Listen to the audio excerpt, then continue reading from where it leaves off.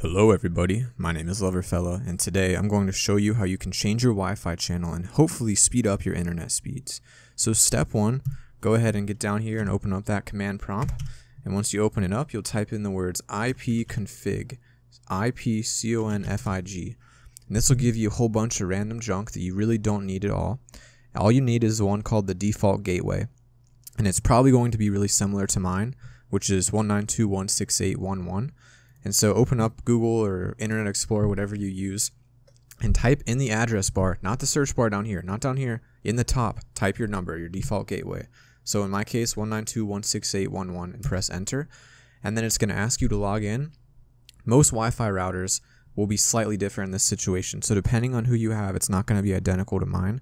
Uh, in my case, I think it's admin password or admin admin. Yours will be something very similar, maybe admin 1234 admin password.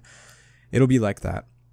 Now this screen you're seeing right now is going to look completely different on the computer you're on. So in my case, since I'm using Netgear, I get to use Netgear Genie.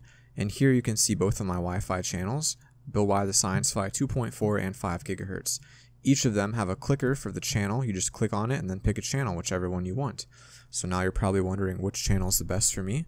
Well, that's something only you will know.